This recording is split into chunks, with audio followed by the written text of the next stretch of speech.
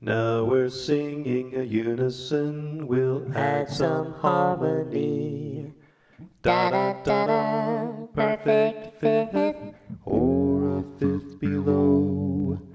An octave up is kinda creepy, but an octave down is kinda cool. This is scale correction mode with a minor blues scale. Da da da da da da da da da.